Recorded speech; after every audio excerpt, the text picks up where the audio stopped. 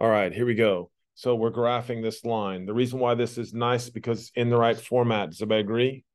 All right, we can just plot the point what? Negative three. And then from there, we can go up what? Up four over one. All right, and we can just draw that line. All right, now if you want off to the side here, it might be good for you to say m is four over one and b is zero comma negative three. All right. That's what we're looking for. Yes, Palmer.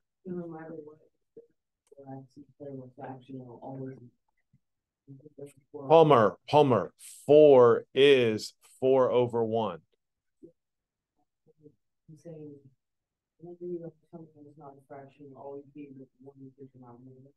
Palmer, yes, yes, that is correct because the number four is four over one. What? The equation is already written. We're not writing the equation. We're graphing each line. We're not writing the equation. All right, here we go. Number three. Everybody should be able to look at x equals three and just say it's automatically a what? Vertical line. If you know that, you're in good shape. x equals three is a vertical line. If I ask you what the slope is, the slope would be what? Undefined. Thank you very much. Slope is undefined. Is there a y-intercept? No y-intercept on this. All right, it doesn't cross the y-axis. All right. So here we go. Let's check out number five. Now we got a problem with number five. The reason we have a problem with number five is because it's not in the right format. All right. So let's put it in the form y equals mx plus b. So I have to move the 4x over. When I move the 4x over, it becomes what? Negative. I don't want you put minus 4x minus 4x unless you just absolutely don't understand numbers. All right, I'm moving the 4x from the left to the right, so I change the sign. 3y equals negative 4x plus 9. Anybody got a problem with that?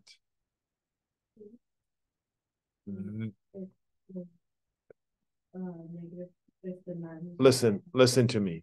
You want to do it the way I'm doing it, right, Matt? Now, listen to me though. The reason I'm saying that is because you're putting it in the form y equals mx plus b. Do you agree? Mm-hmm. The x is in front of the number. All right. Is it wrong if you put the x after? No. It just can be confusing. All right. Now, everybody, we're going to divide by what? So y equals negative 4 thirds x plus 3. Slope is what? Negative 4 thirds, and it passes through what point? 0, 3. Okay? So plot the point, 0, 3. From there, we go what? Down 4 and to the right. Palmer, are you good with that?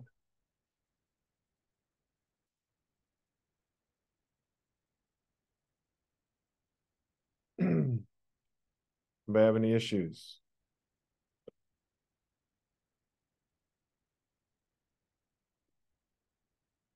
Now, don't forget on number six, you got to divide by what? Negative seven, which is going to change the signs. We agree with that? All right, let's just do number six together. All right, we'll skip seven because seven is easy. All right, so I move the 2x. So it's going to be negative 7y equals negative 2x plus 7.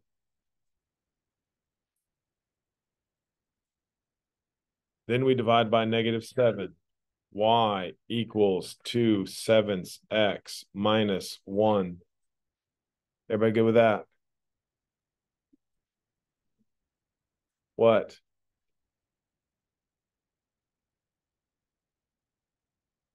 Come on. I divided by negative 7. Do we agree? So now everybody should be able to say our slope is what? And our y-intercept is 0 comma negative 1. So from there, I go what?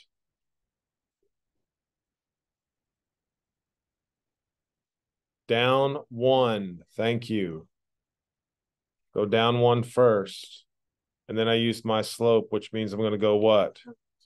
Up two and to the right seven. Anybody have any issue with that? And now we graph the line. Palmer, what? What do you want me to do? It's not a negative. Palmer, that's why I want you to sit in front. Move your desk over to the front, right in front of the board. All right. Come on, hurry up. I don't have all day. Let's go. Just pick up. Just you don't need it to move everything. Just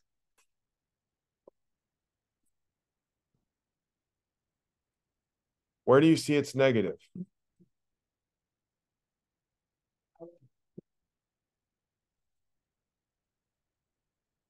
That's why I want you to sit right there.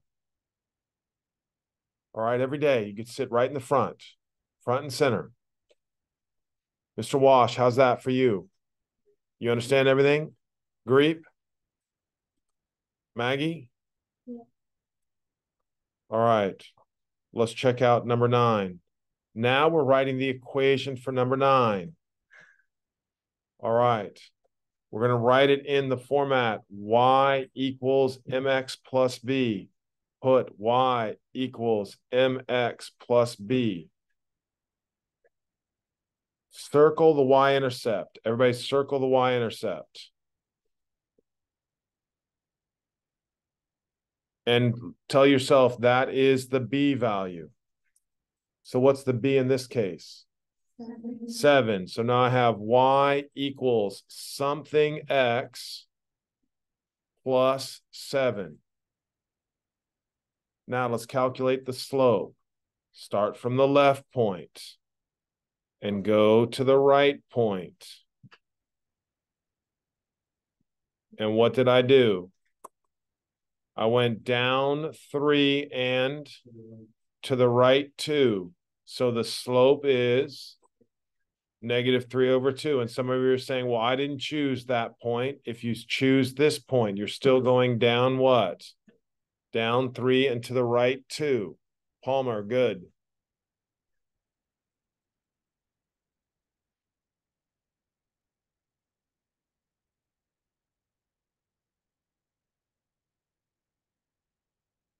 That's exactly right.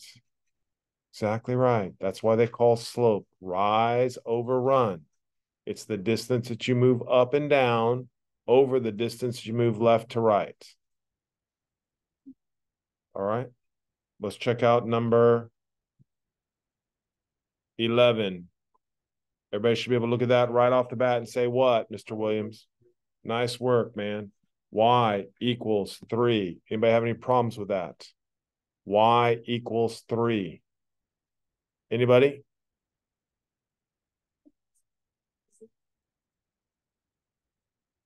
The slope is equal to zero here. I'm not asking about the slope though. I'm asking about the equation, writing the equation. Y equals three.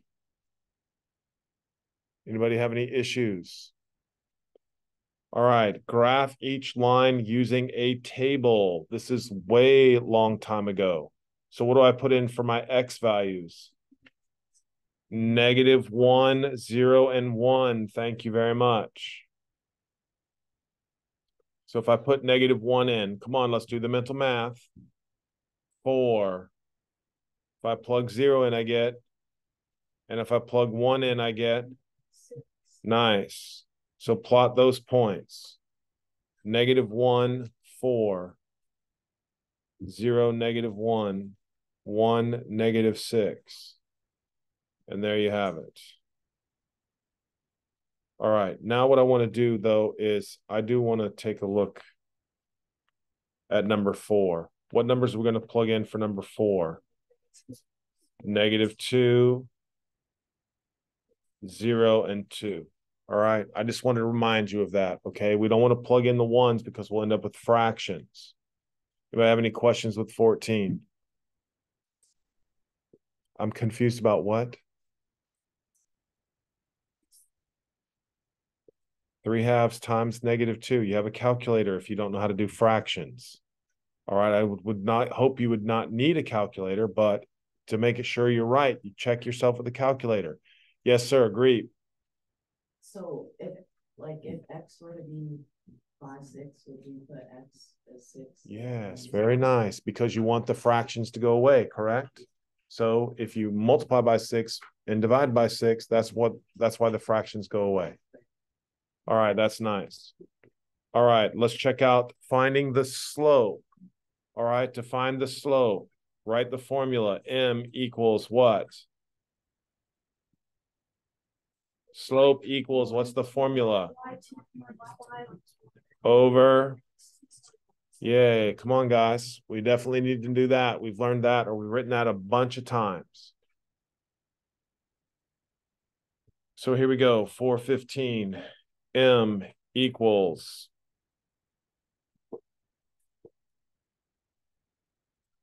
Yes, but I'm gonna go ahead and write it this time. Negative seven plus two over five plus three. So I have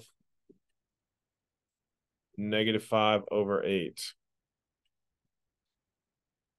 Anybody have any issues with that? All right, let's knock out 17, please. M equals nine minus 19 over negative three plus three. And we have a little bit of an issue here. Yes, thank you. Zero in the denominator. All right. Are you allowed to divide by zero? Let's say you forgot. If you try that on your calculator, the calculator will tell you you can't do it. Right. So that should tell you that it's what? Undefined. All right. Which means it's a vertical line. Okay. But I thought anything was the same number for that. I thought it would be the answer. Like no, no, you that but see now some of you are misunderstanding the difference between finding the slope and graphing the line and writing the equation. You with me? I'm not asking you what's the equation. You're right. The equation here would be x equals negative three, but I'm not asking you for the equation. I'm asking you for the what? The slope, not the equation. That's the difference, Mr. Williams. You hear me on that? That's a good question. All right, I'm not asking for the equation. I'm asking for the slope. So everybody looks like on number 19. Let's calculate the slope again.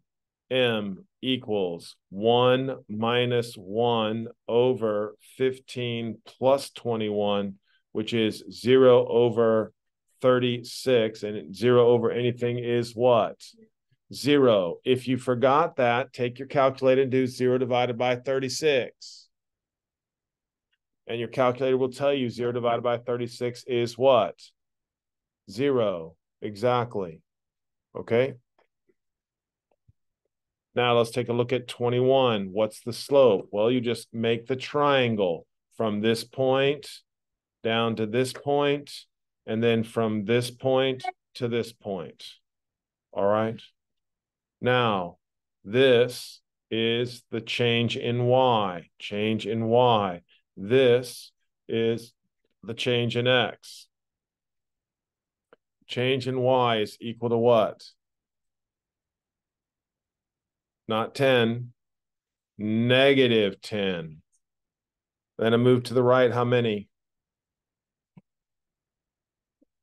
Four, it looks like to me, correct? Is it three or four? Four. So now we reduce that fraction to what? Yes. Make sure you're telling me it's negative 5 over 2. Negative 5 over 2. Anybody have any issues with that? Now you should be addressing yourself right now, going, man, I've I'm gone through two thirds and I'm doing really good. All right, or I've gone through two thirds and I know nothing. So you're trying to decide how much work you need to do. What? No, no, no. That's just for your information. No, the slope is negative five halves. Slope equals negative five halves. All right, let's check out 23.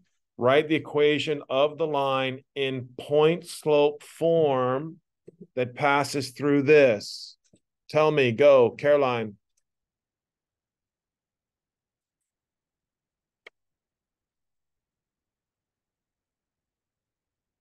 Thank you, kiddo. Perfect. All right, point slope form. Everybody should be able to write it. Y minus Y1 equals M times X minus X1. All right, if you can't write that, you, you haven't been doing your work. All right, that's the point slope form. Anybody have any questions with that? Am I done with that? Yeah, because it says point slope form.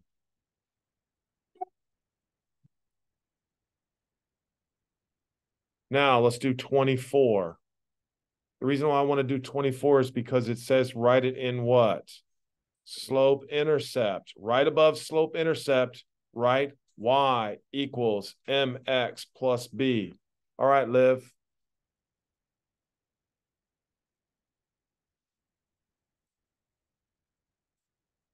Amazing. That's the first step. That is the first step. That would be good if it said point slope, but we got to convert it into slope intercept. So go from there. Okay.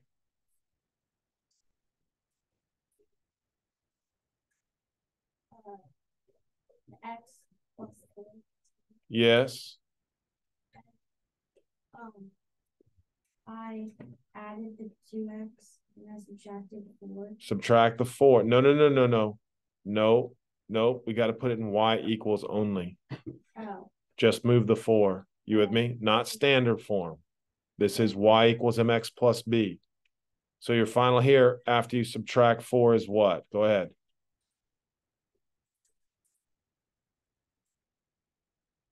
No, you accidentally distributed the negative oh, because you thought you were doing the other one. Just tell me what the answer is now. Y equals.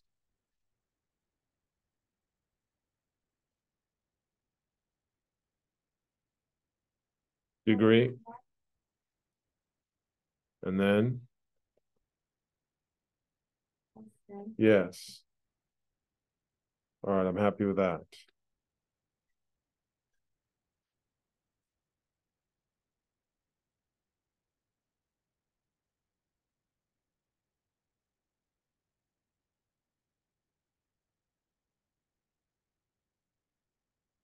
Okay.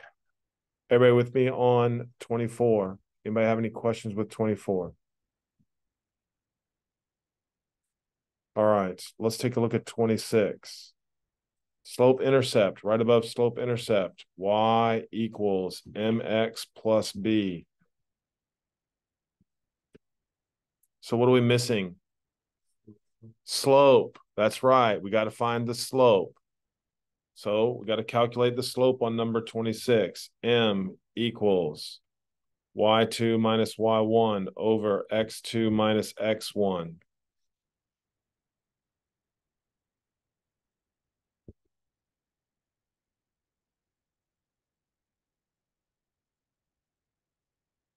What do we get for a slope on this, guys?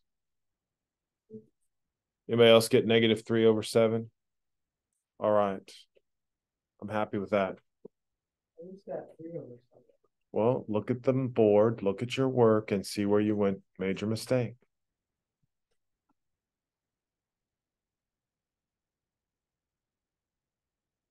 All right, now I'm gotta work on it. Go. Now you gotta put in slope. Yes, sir, go. So be, um. Y, y minus seven.